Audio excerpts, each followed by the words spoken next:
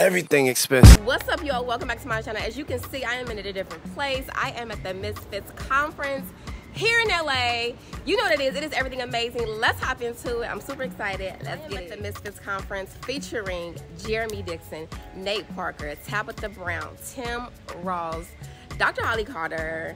We have Ben San. Oh my God. I have been the honor to be the creative director. So I just wanted to tell you guys, what I have learned, you can't be a misfit if you're not a threat. You cannot be a misfit like me if you are not a threat to society. Meaning, if you are not trying to change the world, if you're not changing spaces, if people are not talking about you, you are not a threat, baby, and you need to reevaluate. So, what you are called to do, you better do it quickly. What you are called to do, you better do it quickly this year, no matter what. Take action, set goals. You know what it is. It's Monday Vibes at the Misfits Conference. Okay.